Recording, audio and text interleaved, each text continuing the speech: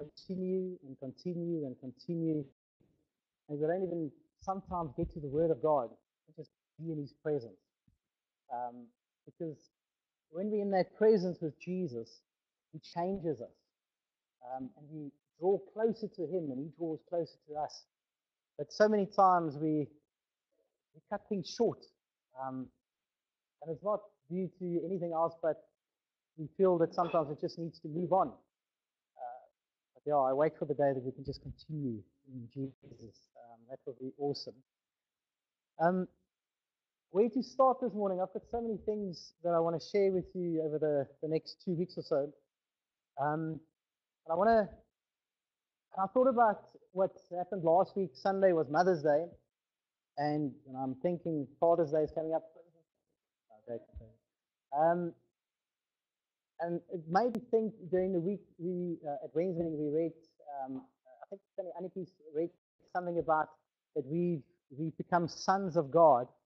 And then it made me think about Jesus and it made me think, but how do I know Jesus and, and how did it all come together? So Father's Day coming, and so this is not a Father's Day message at all. I don't even think that. But I wanted to tell you a little bit about the Father. Because so many times we focus on Jesus, and that's 100% correct. But we also need to know that through Him we get to the Father. So let me give you a little bit of background about my own dad. I uh, grew up in a little town called Brakpan in Gauteng. Um, Dan will know it's, it's not the best place to be. You would walk around and there would be um, people of all society walking around and not being good.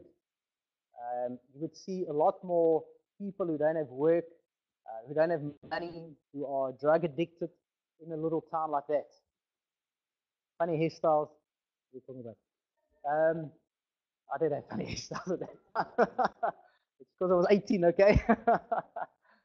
and um, my dad was a fireman, and he very good fireman. He qualified to be a paramedic at 20 years old and had a bright future ahead of him. But then he allowed certain things to occupy his life. One of those things was alcohol, and he got addicted. And his whole family, even up to today, um, a lot of them are still addicted to alcohol. That's what they do when they get together. They drink and they have fun and they booze and they do whatever. And, um, and my dad was just unfortunately one that couldn't handle it. So you would always go overboard. You would always be the one that would um, fall over, where the others will still drink and sort of contain it and mellow with it and go with it. But he would be the one just falling over. He would be the one that wants to give me a lift on the motorbike, but can't lift the motorbike, so we fall over and the motorbike's on top of my legs, and, and other men have to come and rush to put up the motorbike again. That was the kind of father I had. A father who beat up my mom uh, a couple of times in front of us, um, where bloody nose, eyes were swollen like this. That's the kind of dad that I grew up with. Um, and if you look at today's life, at what people experience from a physical father, and it's becoming less and less that the parent, or even specifically the father, are involved in the parents or the, the kid's life. Many years ago, a parent or a father would take his child with him to work from a young age, and he would learn from his father. He would see what his father does. He would see how his father talks and reacts and protects and encourages other people. Um, if I'm just thinking, um, Eric and them, you guys had a farm, and how nice it was to be able to take your kids with you on the farm and let them drive a tractor, be kids. But they were always involved with the parents and what they're doing. So they were leading constantly. And that reminds me of the Father God how involved he was with his son all the time. Um, you guys remember in Genesis 1,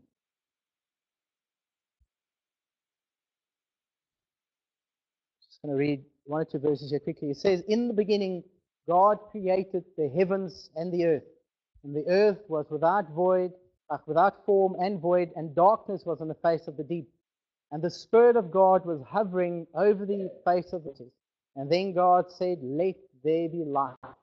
And there was light. Now we all know that that speaks about Jesus of being the light. And if we go to John 1, this is where I want to start this message of the Father, of how he was involved with his Son from the beginning. And John 1, uh, verse 1, and we all know he said, In the beginning was the Word, and the Word was with God, and the Word was God. He was in the beginning with God. All things were made through him. Now, just that last uh, uh, verse 2, he says, He was in the beginning with God.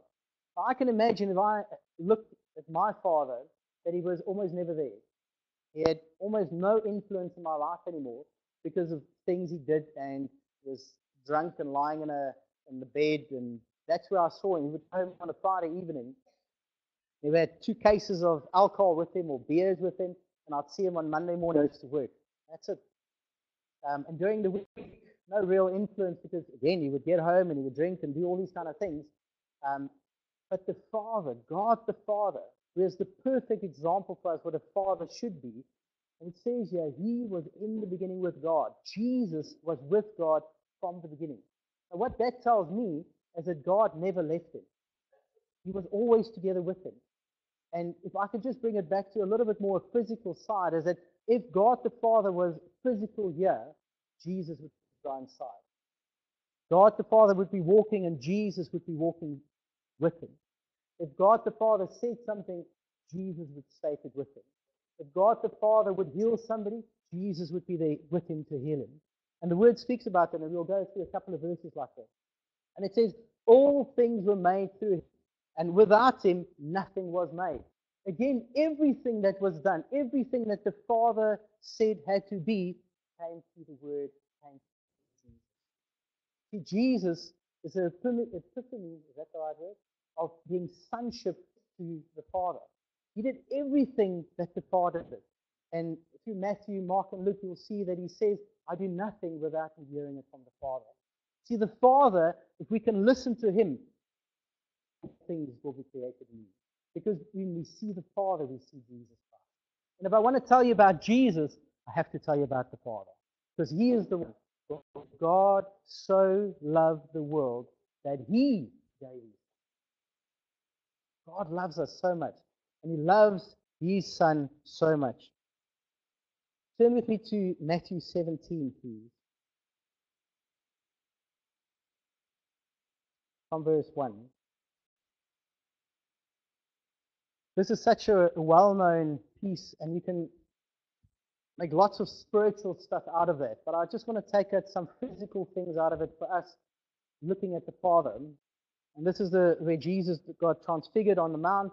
And verse 1 it starts and he says, Now after six days, Jesus took Peter, James, and John his brother, led them up on a high mountain by themselves, and he was transfigured before him, for them. His face shone like the sun, and his clothes became as white as the light. Let me just stop there. What a marvelous thing just happened. They were walking with Jesus, talking with Jesus, seeing Jesus do all these miracles. And if there was any doubt in their mind that he is the Son of God, this was now a proven fact to them. He's standing there in front of him. His face starts shining. His clothes start lighting up like light. Amazing. So much so that Elijah comes and Moses comes and they start talking to Jesus and Peter, James, and John. He says, oh, whoa, whoa, let's just build some tents here, tabernacles for you guys. We all just stay here. What a marvelous thing it should have been. How marvelous, marvelous it is to be in the presence of Jesus, in that Godhead, in that spiritual side of Jesus, and we're with Him and we're in Him. We can do everything. Um, and Jesus wants us to do that. And behold, Moses and Elijah came to them talking with him. And then Peter answered and said, Jesus, Lord, it is good for us to be here. And if you wish, let us make here three tabernacles, one for you, one for Moses, and one for Elijah. And then while he was still speaking, listen to this. Said, Behold, a bright cloud overshadowed them. And suddenly a voice came out of heaven saying, This is my beloved Son, in whom I am well pleased. Hear him. Can I say the Father comes and he announces and he says, This is my son. But he doesn't just say, This is my son. He says, This my beloved son. This is the son that I love. Listen to him. He comes and he announces to Peter, John, and James, and to Elijah and to Moses. He says, Listen to him. He's my son, the one I love. And when I talk about my kids, you know, I'll say Cameron and Aaron and, and Ryan. I don't always say, This is my beloved kids. I should because I love them. Um, and God the Father comes and He shows us. He says, Look, the first thing that I want to tell you guys of being a father is love your kids. Be for them. Be there for them in everything that they do, but love them to everything. You see, the love, if we have that love that we say that this is our beloved son. Um, I've heard over the last couple of weeks, I spoke to Tony when I took him to the airport. I'm sure he, he won't mind me telling the story, but both these kids, um, his two sons, didn't serve the Lord for many, many years. They fell away. One became an atheist, the other one is sort of just, uh, whatever happens will happen. Um, and I can think as a father that that must be very hard. It must be when you look at your kids, you think, oh, we've got three kids here, six here, and how many kids we got? Four, three, four kids. If just one of them do not follow God, how will we react with him? What will we do with him? How will we speak to him? How will we speak of him and others? Will we still say, He is my beloved Son? I can promise you, most men in today's world won't say that. They will write him off, they will forget about him. I heard a story a couple of years ago about a, um, a father and his uh, wife, husband and wife, and they had a son which grew up in a very Christian world uh, or house. And he grew up and he started serving God and he gave his heart to Jesus. And then they got a message one day, he was about 25 years old, that he had shot somebody and killed him out of anger. They knew the son. They spent many hours with him. And people started saying, well, geez, what happened to his son? Why did he do him like that? And, they, and the father's also like, my son kills somebody? There's no way. He, he can't do that. He went to jail because now he eventually ended up in jail. He said, but why did you do it? He said, Dad, I don't know. I just got anger in my heart towards this one person. I was dating somebody, and her ex boyfriend came and wanted to do something and hurt her, and I got anger in my heart and I shot him, killed him. Said, Dad, I'm so sorry I did it. I've already apologized to God. And the father just continued loving his son. And he was in jail for 15 years because of one little mistake that he did. But still, that father never gave up on his son.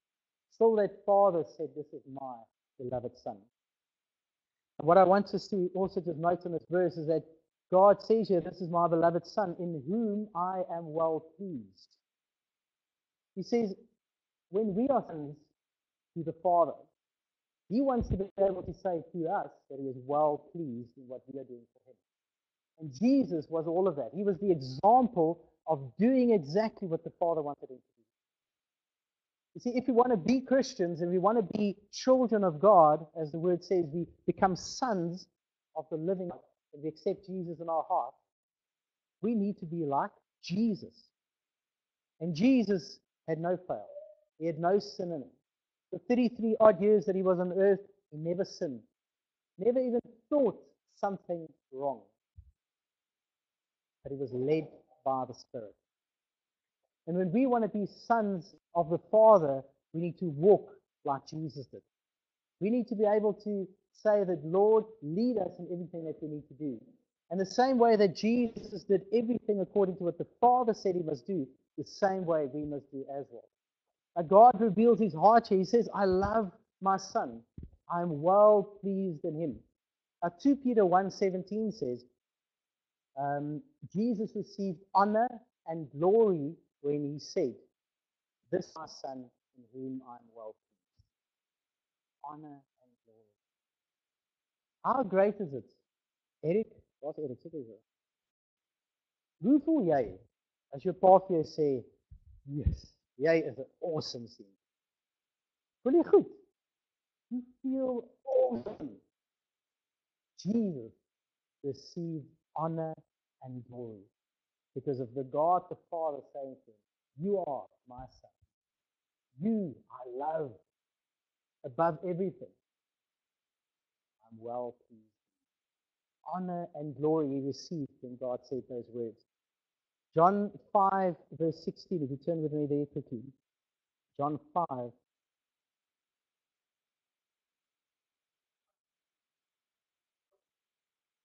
I want to show you this morning again just that God the Father and God the Son has always been together.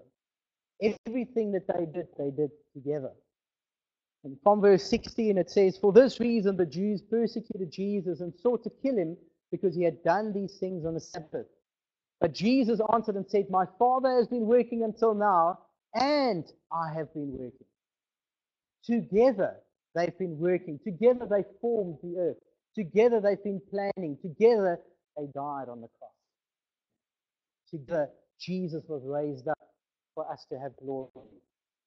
Together they did these things. And therefore the Jews sought all the more to kill him because he is he not only broke the Sabbath, but also said that God was his father, making himself equal with God. And he says, Most assuredly I say to you, the Son can do nothing of himself but what he sees the Father do. For whatever he does, the Son also does in like manner. See, Jesus and God is inseparable. They've been together, they're one being, yet two entities. But yet the, the Son does nothing without the Father doing it first. The Son will not walk until the Father says walk. The Son will not heal until the Father says heal. And yet all authority has been given to Jesus. How amazing is that? That he still will not until his Father says so. And that's the kind of thing that we try and teach our kids, is that we should listen first time. When your parent talks to you, and I think Aniska a couple of months ago, maybe years ago, she had a small thing here with the kids, and she said one of those verses that said that you should obey your parents in all things that you have a happy and life. I can just imagine that when we do that, and we are sons of God, and we listen to the Father, that's what Jesus listened to his Father. And as he still listens to his Father, what an amazing life we will have. And when we start doing that in the Spirit and we walk in the Spirit, we live in the Spirit, we eat in the Spirit, what an amazing life we would have. For the Father loves the Son and shows him all things that he himself does. And he will show him greater than these, that you may marvel at this.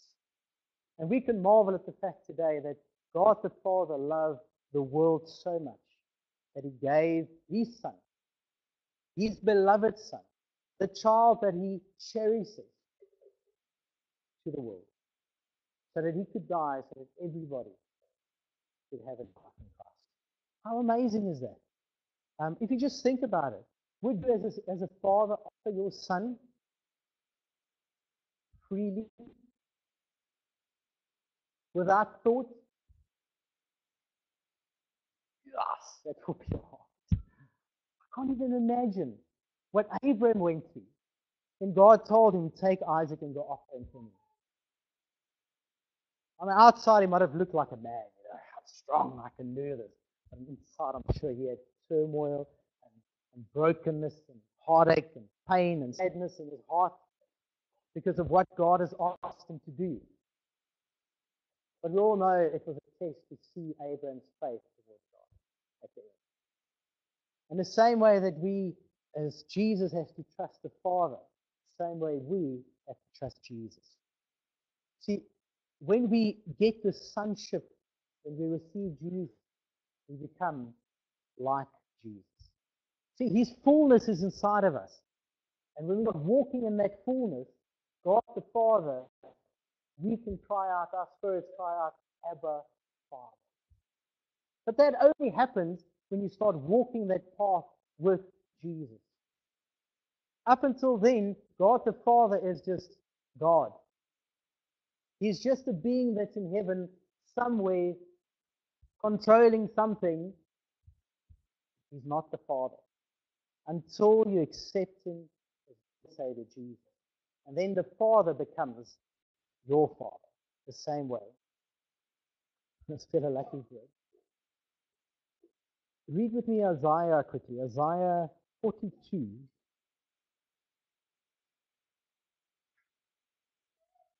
I've said this before, but what's beautiful about the Bible is that the Old Testament always confirms the New, and the New Testament always confirms the Old Testament. And you can see Jesus through all of it. You could read the Old Testament and not see Jesus because you're not looking for it. But when you really want to find Jesus, you can see him in every verse almost. Verse 1 of Isaiah 42 He says, Behold, and this is God speaking through his prophet Isaiah. He says, Behold, my servant whom I uphold, my elect in whom my soul delights. I have put my spirit in him. God Father delights in his Son.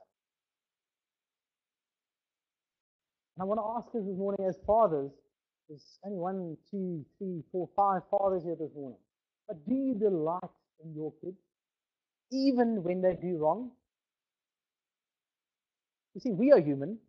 We make mistakes. As fathers, as, as uh, uh, men, we do make many mistakes. Just ask our wives. They can tell us a long list of things that we do wrong.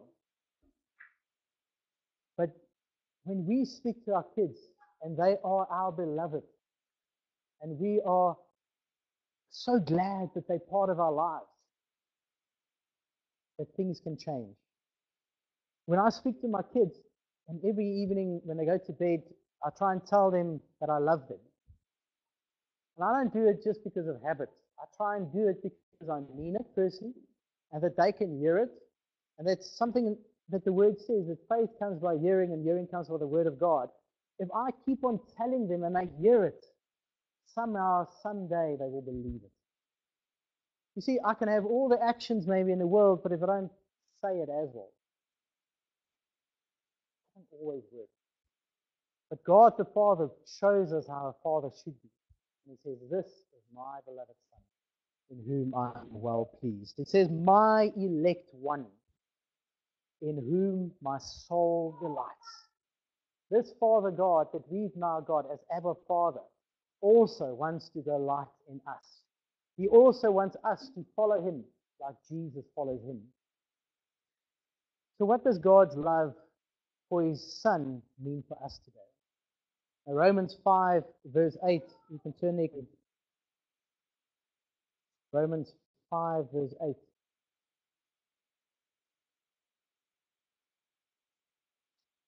This is what it means of God's love for his Son means for us. It says God shows his love for us in that while we were still sinners, Christ died for us. How amazing is that? It, it baffles my mind that a father can take his son and give it to an undeserving people. Undeserving. Never in the history of the world can one man stand up and can say that I deserve it. Not one man. Not a David, not a Solomon, not an Adam from the beginning. No man can say that today.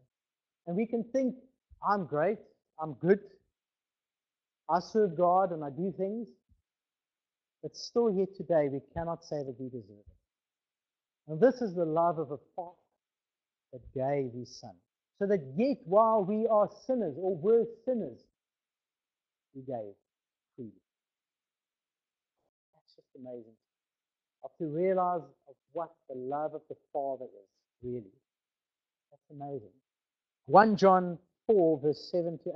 You can turn there if you want to, you can just listen. 1 John 4 from verse 7 to 8. He says, Beloved, let us love one another, for love is of God.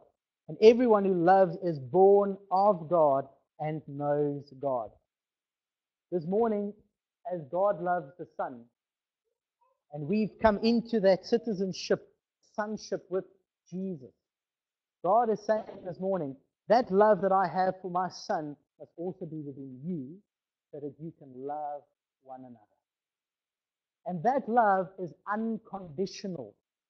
It's not a love that say, well, I will love you if you do this. It's not a love that says, well, if you do this right, I will do this.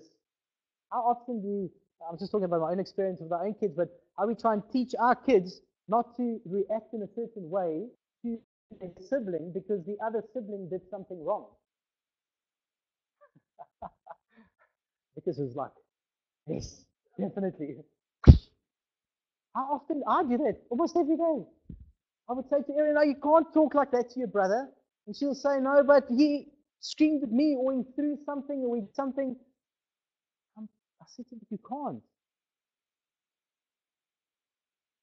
Love should be in us. And in, if that love is in us, we react in the way that God wants us to react. Yes, we're human and we make mistakes.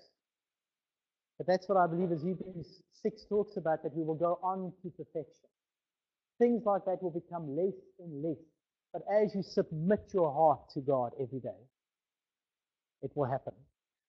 God wants us to love one another.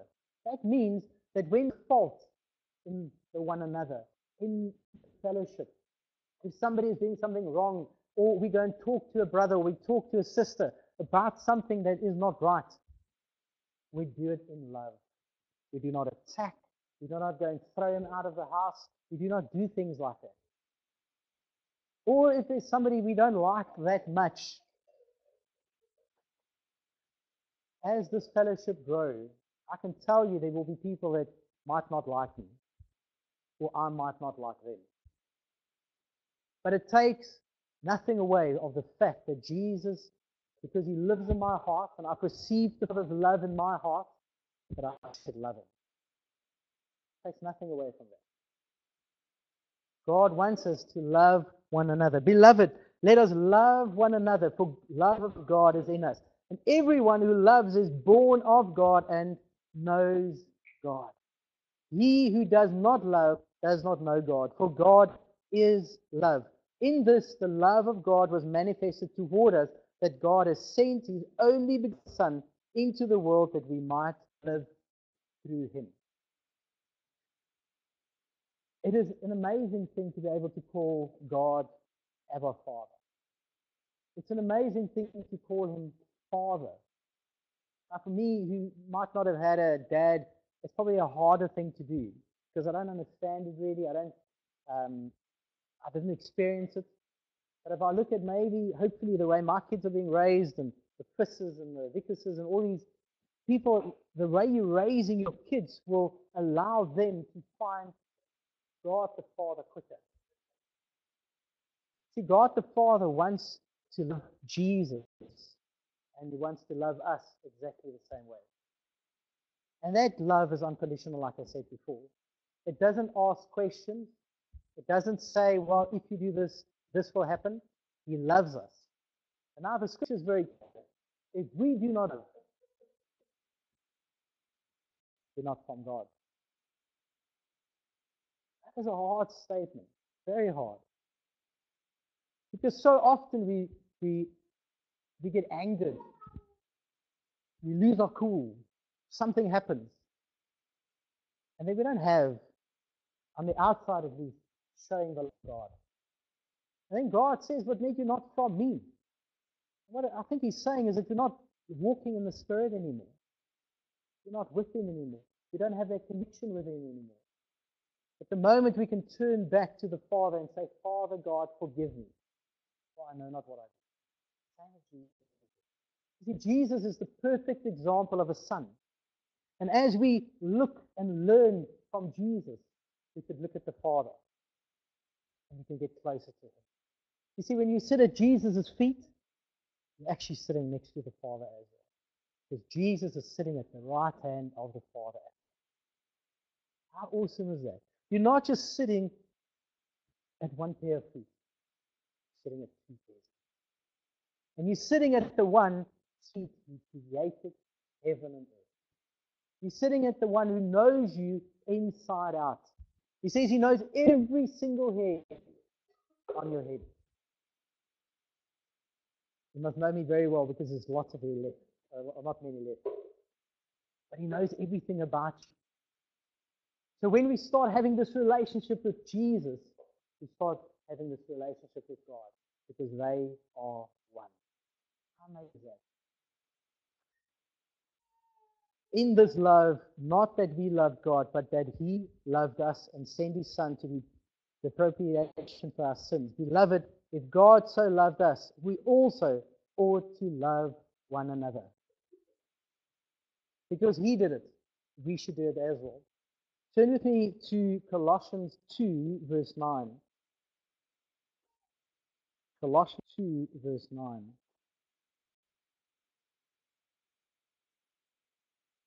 Another amazing thing, and this morning I just, let me just say this. I don't want to try and be over spiritual this morning. Um, I don't want to go into very deep detail and deep principles and theories and stuff. I want to give you a basic outline of what it is to serve God and how awesome it is to be able to call Him Abba Father. Colossians 2, verse 9, it says, For in Him dwells, now we're talking about Jesus here, for in Jesus dwells all the fullness of Godhead bodily. You are complete in Him, who is the head of all principality and power. God has placed Himself in His Son. And when we accept the Lord Jesus in our hearts, that Godhead is with us, with us, in our hearts, automatically. Therefore, our spirits cry out, Abba, It doesn't happen before. And hope that it happens numerous times after that. God the Father loved us so much that he sent him. When Jesus got baptized, what happened? Do you guys remember? Dove came in the form of the Holy Spirit. A voice came out of heaven. What did he say? Same as he said before, confirming it. This is my beloved Son, in whom I am well pleased. You see, God the Father's love is so big, so enormous, that He can only give it away. There's a song that says, um, You can't contain it. What's that song? I don't remember the song's name, but it goes in the lines of He's so big we can't contain it.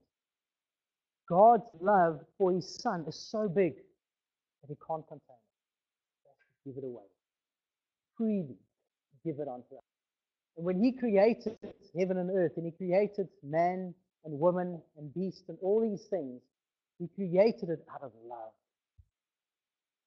Not because He already said, well, people should die, people should go to heaven, uh, to hell at least. He didn't do it that side. He did it because He loved us. From the beginning, God's love started, and God's love will end it. And need to be with Christ. 1 John 3, verse 1. Got two more verses I want to share with you.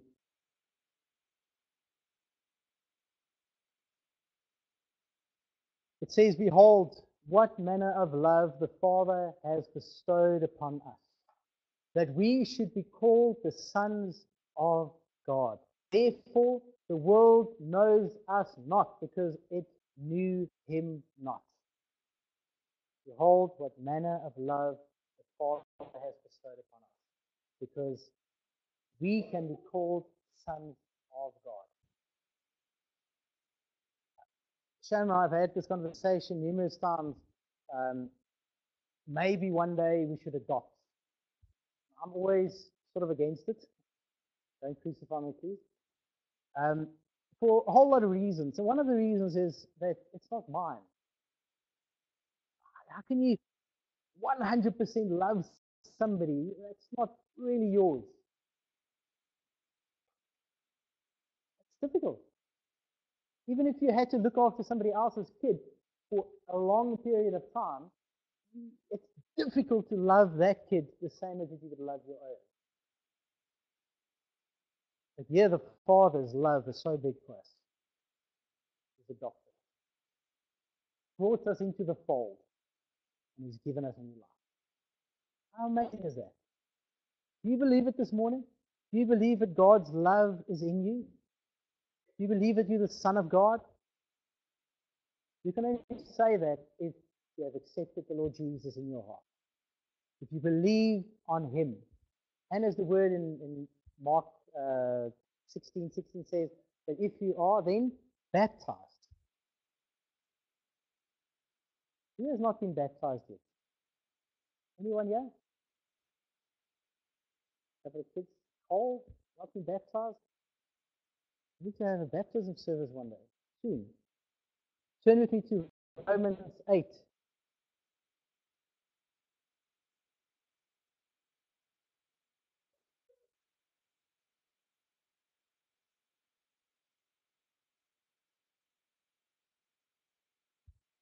This just proves again to me that we are sons of God with the love of the Father. Verse 15 says, For you did not receive the spirit of bondage again to fear, but you received the spirit of adoption, by whom we cry out, Abba, Father. The Spirit Himself bears witness with your spirit, or with our spirit, that we are children of This morning, I want to encourage you. If you've accepted the Lord Jesus in your heart and you are following Him, and your spirit cries out, Abba, Father, I want you to remind yourself of that every day. That you are a son of God. You are a son of the Most High God. Sometimes we think ourselves so little. I'm not trying to lift up ourselves here, like full of pride or something like that. But what I'm saying to us this morning is that because we can cry out, Abba, Father, Jesus, because He's living inside of us, through Him, all things are possible. Not through us, not because we're so great, but because of Him living inside of us. Because we've received that adoption in our hearts, then only can we cry out, Abba, Father. Then only can we follow Christ fully. God's love was so big that he gave everything. Like I stated this morning, it's so difficult for a father in a physical realm to do that to his son. Yet God the Father did that to his son for us. And through that, many things have happened. And just one of them is that we are now called sons of God. So this morning, I leave you with that, that we are God's children. Remember that. I want to, next week, I'll share with you a little bit more about what it means to be a child of God. So this is an outline of what's to come. Amen.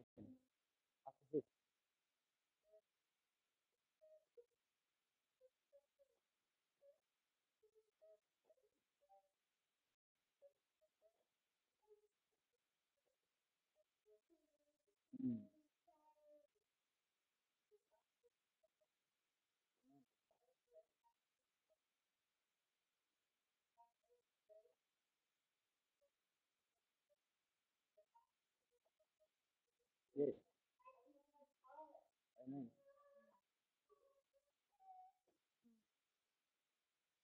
Amen.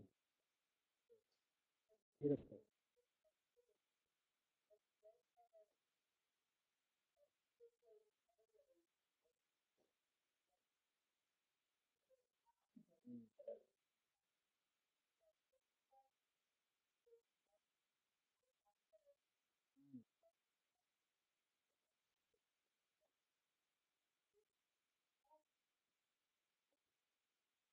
Mm.